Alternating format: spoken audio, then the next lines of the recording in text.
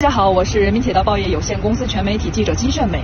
现在我所在的位置呢是海拔三千六百米左右的拉萨站，在我身后就是万众瞩目的高原动车组了。它的全名呢叫复兴号高原内电双元动车组。它和普通的绿巨人会有什么样的区别呢？走，我们一探究竟。我现在是在二等座的车厢，和以往的这个动车的布置座位布置一样，它也是采取了三加二的这样的一个模式。大家可以看，这边是三个人坐，这边是两个人坐。然后座位的上方呢？有我们的指示牌儿，这边可以挂衣帽，这边有这么一个可以适合聚会的小桌子。如果你们是六个人的旅行团，哎，刚好可以坐到这边一起喝喝茶啊、吃饭啊、聊聊天都没有问题。小编净身高一米七三，我来试着坐一下我们的座位，慢慢把座椅靠背调后。嗯，一等座的座位非常舒适，因为它后面还有一个定制的这样的一个靠枕。我们往后一下。有一种坐沙发的感觉，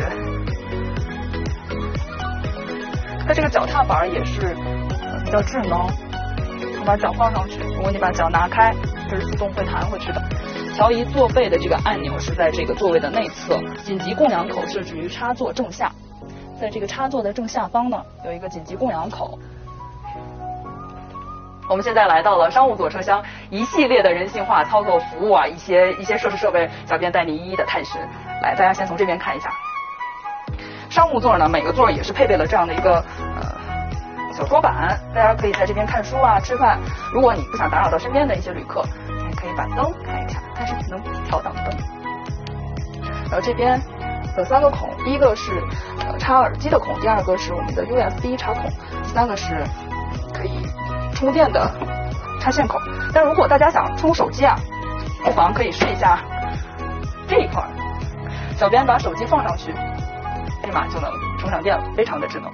当然，你如果觉得，哎，我充着手机，我想玩手机怎么办？我想用手机看电视怎么办？请看这里，这个手机啊，我们是可以在这个屏幕上投屏的，一个是苹果用户或者是安卓用户，你都可以投屏。你把手机上的屏幕投到上面之后呢？